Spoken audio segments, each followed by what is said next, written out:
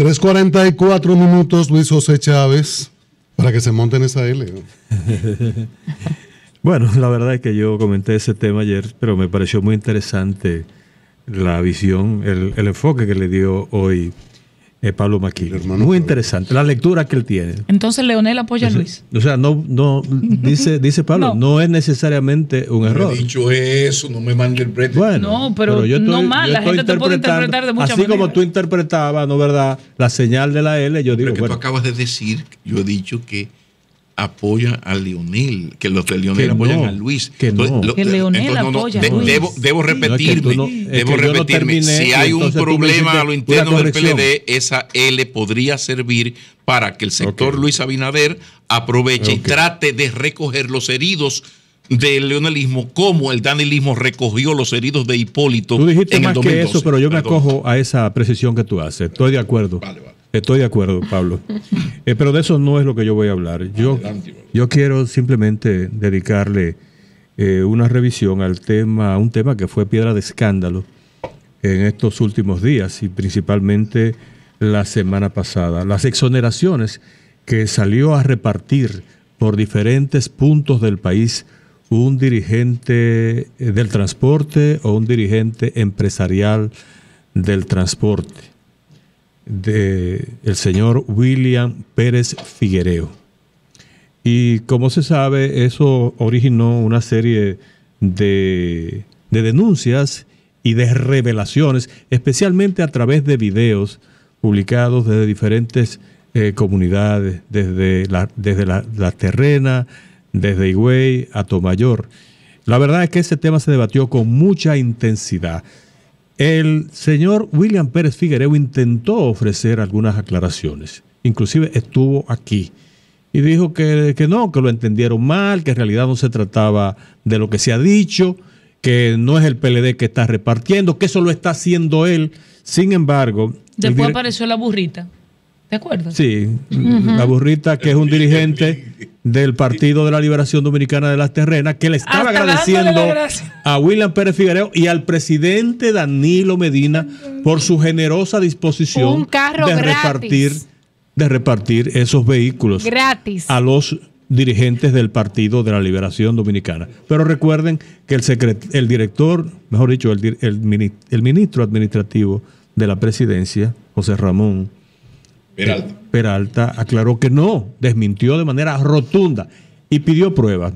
Pero eso dio lugar a una iniciativa de la Junta Central Electoral que designó una comisión encabezada por su titular, eh, José Ángel Aquino, que comenzó las indagatorias. Pidió información y documentaciones a la Dirección General de Aduanas.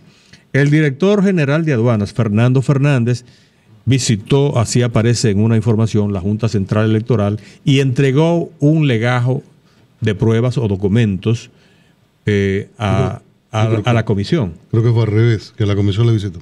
Yo leí una, crónica en la que decía que visitó, que él lo visitó, pero bueno, lo importante es que se reunieron y la comisión encabezada por por José Ángel Aquino recibió las informaciones requeridas. ¿Qué dice la Dirección General de Aduanas? Que no, que no, que no hay ningún trato y no hay ninguna tramitación para ofrecer esas supuestas facilidades de exoneraciones. Una pregunta, ¿alguien esperaba que sí?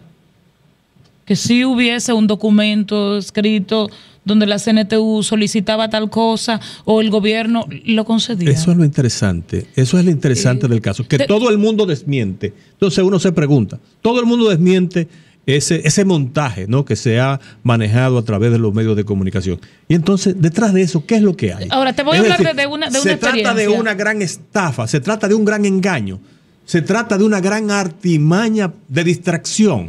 ¿Cómo se va a diferentes comunidades y provincias del país a ofertar facilidades otorgadas por el gobierno, especialmente a dirigentes políticos del partido oficial. Bueno, ahora resulta que no, que eso no es verdad.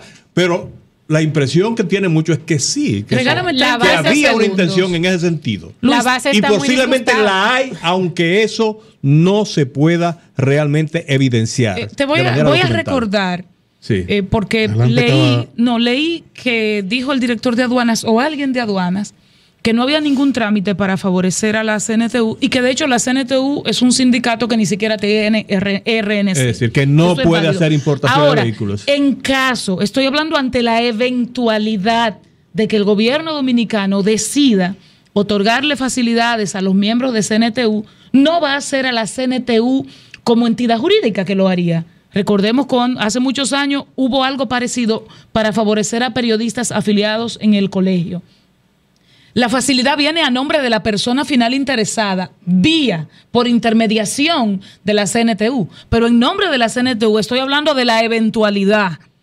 Ese nombre nunca va a figurar. Eso quiere, decir, eso quiere decir que las aclaraciones, los desmentidos y las aclaraciones que hacen los funcionarios públicos, incluyendo al ministro administrativo de la presidencia y al director general de aduanas, no descartan la posibilidad de que efectivamente haya en proceso un proyecto para repartir vehículos con facilidades especiales, es decir, con exoneraciones, con cargo a la campaña electoral.